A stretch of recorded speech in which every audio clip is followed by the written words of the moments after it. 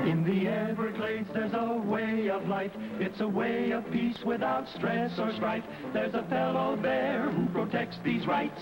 Lincoln Vail of the Everglades. But they'll fight for rights and the homes they've made. Simple grassroots people of the Everglades. There's a natural danger and a man to face. Lincoln Vail of the Everglades.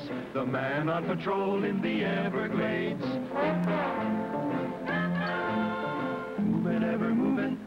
Moving, ever moving through the Everglades.